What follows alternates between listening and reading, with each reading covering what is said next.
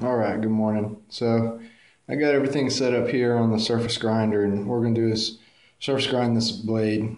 I'm really only gonna take about a little over a thousandth off on this first belt, which is 65 microns. We're gonna flip it over and do the same thing on the other side. And then I'll go back and finish it on 45 micron. That way when I hand set in this blade, save me a lot of time. uh, this is a pretty slow, tedious process. Um, so I am not going to film the whole thing because it, it, just takes a long time. So we'll do it for a little bit and then um, I'll shut off. And then when I'm finished, I'll, we'll go over what all I did. Um, whenever you do this, I only take off on these belts.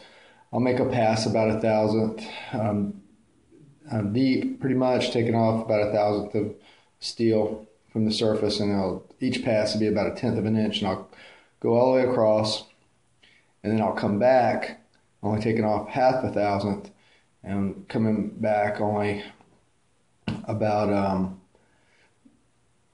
about a twentieth of an inch on each pass, so it's really smooth. And then I flip it over.